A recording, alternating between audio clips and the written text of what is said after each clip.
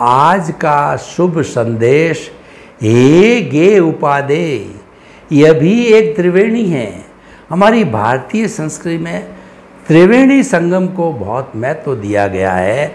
ब्रह्मा, विष्णु, महेश, सत्यम, शिवम, सुंदरम, हे गे उपादे दृश्य दृष्टि दृष्टा, ध्यान दे, ध्याता।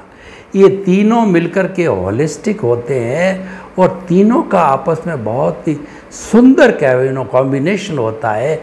तीन के योग को बहुत अच्छा माना गया है। सम्यक दर्शन, सम्यक ज्ञान, सम्यक चारिक ट्रिपल ज्वेल कहलाता है।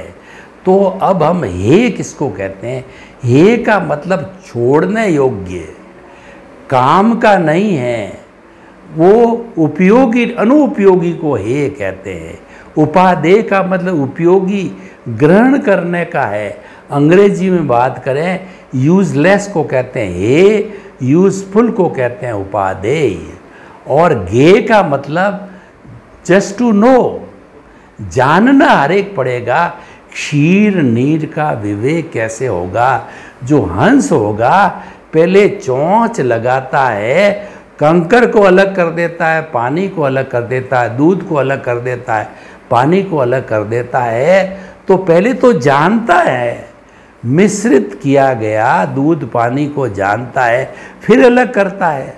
अलग का मतलब एक उपाधि और एक हे कर देता है। तो जानना इस दुनिया में जितने भी नौ तत्व है, जीव, अजीव, पुण्य, पाप, आश्रव संबर निर्जरा बंद मोक्ष, नौ तत्वों को जानना गे है। फिर उसके बाद हे का मतलब यूज़फुल कौन से हैं? इसके अंदर यूज़फुल जो है, वो है, वो संभर निर्जरा, मोक्ष और जीव। ये पाँच है, वो उपादेय है। और हे कौन सा है? अजीव, पुण्य, पाप, बंध और आश्रव। ये जो है, वो हे है। इस तरीके से उपादेय और हेय को हमारे जीवन में महत्व देना चाहिए।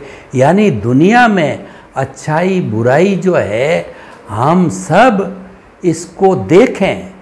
देख करके जितनी जितनी बुराई है, उसको छोड़ दो, उसको हे करो और जितनी जितनी अच्छाई है, ग्रहण करो उपादेय।